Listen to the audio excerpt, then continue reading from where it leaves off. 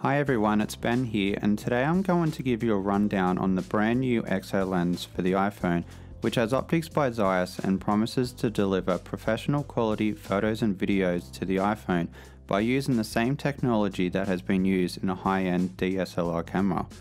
The lens I'm using here is the wide angled lens, which is an 18mm equivalent, making it perfect for landscape photography, time lapses, of videos and more. To get going, all you need to do is slide your iPhone into the bracket and screw the lens on and you're set to start shooting. Right off I'm going to say this is by far the best iPhone lens attachment I've seen and used in terms of the quality of the lens system itself and the quality of the photos and videos. The bracket is machined from aluminium, however it does have a soft interior lining in the inside which prevents its scratches to your iPhone.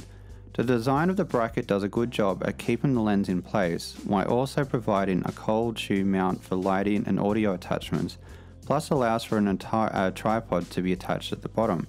At the end of the day though, it all comes down to the lens itself. It's important for the quality of the lens to be good because it's going to reflect on the photos and the videos you take. The lens itself is the largest wide angled lens I've seen. You can see the quality of the lens when you first take it out of the box. The optics have been designed by Zeiss, who have more than 170 years of experience in engineering professional optics, and it certainly does show here. As someone who uses an iPhone to capture just about all my photos, I have tried many other wide angled lenses in the past, but all have resulted in the edges of the photos being distorted, objects at, the end bent, and quite frankly, I've just stopped using them. Every photo and video I've captured so far using the ExoLens lives up to this virtually no distortion claim. The colours and contrast of the photos is great, and this is even before I do any editing. For the first time I felt a professional iPhone lens is indeed a professional iPhone lens. To give you an idea of what I've captured, I've shot some video here from my iPhone 6s without the lens, as you can see, and now with the lens on. You can certainly see the difference.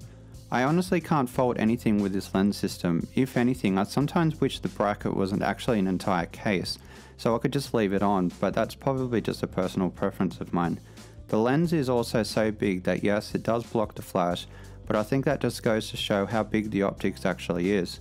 But as mentioned, there is a mount for an external flash, so I don't see this being a major issue. Over the next few weeks, I'm going to be capturing photos with the ExoLens in Switzerland, so please keep an eye out them at amvsement.com. In the meantime, I've added some links below on where you can learn more about the ExoLens or where you can actually buy one. Please like if you have enjoyed this video and be sure to subscribe to see any future videos.